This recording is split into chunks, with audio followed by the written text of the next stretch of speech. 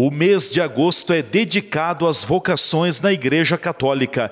Entre as diversas vocações do ser humano está a vocação da família e de ser pai. Neste ano, a Semana Nacional da Família tem como tema E a Família? Como vai. Para o pai, professor Benildo Bordignon, é importante o pai saber o seu papel na família e ter atitudes provocadoras de encontro, de diálogo, de abraçar e de criar uma relação de proximidade com os filhos. A gente já tem mais ou menos claro qual é o papel do pai.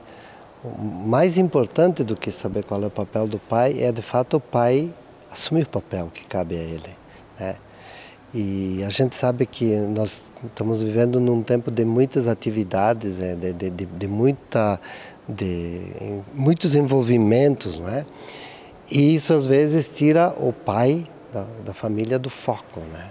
Do foco. Então, a primeira coisa me parece que é isso, né? Eu acho que o pai tem que se dar conta que ele tem um papel muito importante na família, na relação com seus filhos. Bom, de, dentro da família, então, qual seria o papel do pai? Bom, acho que o pai tem que ser um pouco o provocador dentro da família, provocador do encontro, ou o provocador do diálogo, não é? é? O pai tem que ser aquele que exige, porque é papel dele, é da missão dele exigir, mas também é papel dele acolher, é papel dele abraçar, é papel dele afagar, é papel dele é, estimular para novos voos enfim, criar, eh, criar uma relação é, de proximidade com os filhos, não é? Esse me parece que é o papel fundamental do pai. Não é aquele papel, vamos dizer assim, de quem está suprindo uma necessidade. É muito mais um papel, em vez de ser um papel externo, eu diria assim, é um, é um papel interno é uma figura interna, é aquele que agrega, aquele que acolhe, aquele que abraça, aquele que é capaz, da, de, de, na relação com, com o próprio filho, fazer com que o filho se sinta amado, se sinta estimulado, porque eu penso assim é, é, que o papel da família fundamental, o papel fundamental da família no nosso tempo é fazer com que os filhos façam uma experiência de amor.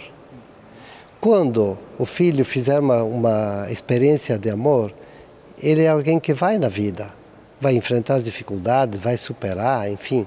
Agora, quando o filho não, não fez na família uma experiência de amor, então as dificuldades se tornarão eh, redobradas. Eh, enfim, eh, eu vejo, eu, eu pela experiência que eu tenho, eu vejo que esse é o papel fundamental da família, do pai. Da família fazer com que os filhos façam de fato uma experiência de amor. A busca desta experiência do amor, a concretização da experiência do amor é, pelos filhos requer, acima de tudo, exemplos. Claro que compete ao pai, compete à mãe, mas enfim, o pai dentro da família tem um papel importante porque ele precisa ser uma sementeira de exemplos. Sim, o, o discurso não adianta muito, a palavra não adianta muito. É? Os filhos, ainda mais hoje, no tempo que nós estamos vivendo, eles são muito espertos. Ah, os filhos não, não querem palavras dos, dos, pais, do pai e da mãe, especialmente do pai. Os filhos querem ver atitudes. Aquilo que eu disse anteriormente, eles precisam ver no pai. Claro que os filhos também vão saber que o pai também tem as suas limitações. também tem os seus erros, também tem as suas dificuldades. Mas os filhos querem ver, e hoje eu digo de novo: os filhos são muito espertos. Os filhos querem ver que o pai viabiliza aquilo que é a missão do seu pai. Nesse tempo de muitas mudanças, de tantas tecnologias, daqui a pouco de algumas atitudes até destrutivas que a própria sociedade coloca, como cuidar, como proteger, como é, realmente é, segurar esse bem precioso que é a família? Sim, é, é, é uma dificuldade, é uma dificuldade, porque como você falou, nós estamos vivendo um tempo né, antes da história nunca existente e é um tempo de muitos desafios. Mas eu acho que assim, ó, é, ter isso bem presente, ter isso bem presente, que isso não seja apenas, ah, vamos dizer assim, algo esporádico, mas que isso faça parte do dia a dia, o diálogo, a compreensão, o carinho, o, o somar o papel da mãe com o papel do pai. Não é só o papel do pai. Eles, hoje eles estão muito próximos um do outro, né?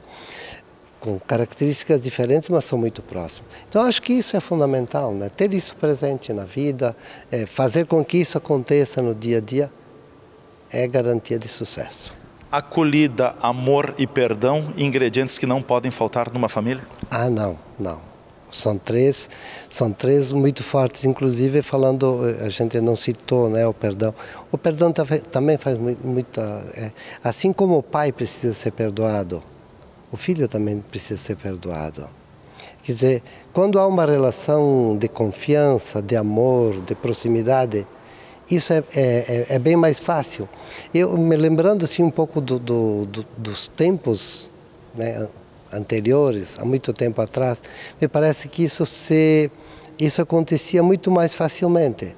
Hoje é um pouco mais difícil. Por isso que é hora de no seio familiar ter essa proximidade, esse aconchego, porque no momento da dificuldade, do erro, da falha, isso se torna muito mais fácil no caso do abraço, do perdão, da acolhida, enfim. Para concluirmos, professor Benildo, a família é o nosso maior tesouro da vida? Sim, sim. E olha, esse ano a, a Semana da Família está fazendo uma pergunta, né? Como vai a família? Que já foi tema também de campanha da fraternidade. Família é nosso grande tesouro. As outras coisas todas passam, tudo passa, e tudo passa com uma velocidade espantosa no nosso tempo. Agora, a família não. Família é o nosso tesouro que precisamos cuidar, precisamos amar, é, precisamos fazer com que esteja na roda do nosso dia a dia. E falo família assim, é pai, mãe e filho, sim, com certeza, é o fundamental. Mas incluo também na família outras relações, os avós, os irmãos, os tios, é, é, quem está tá próximo aí, porque tudo isso ajuda a criar uma personalidade forte em nós mas acima de tudo ajuda a criar essa personalidade forte nos nossos filhos. As paróquias de Farroupilha estão participando da Semana Nacional da Família com atividades especiais como palestras e encontros. TV Serra na Comunidade. Repórter Leandro Adamati.